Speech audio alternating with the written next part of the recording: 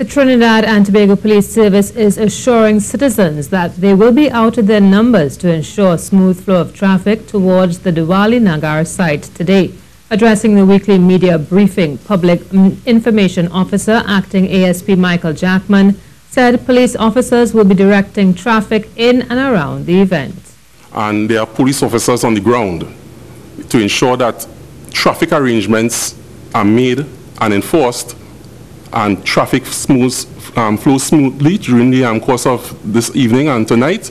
And those celebrations are due to end sometime around 11 p.m. tonight. So we, the police, will be on the ground to ensure that persons comply with the traffic um, checks and regulations that are in place by way of um, the divisional order that he has set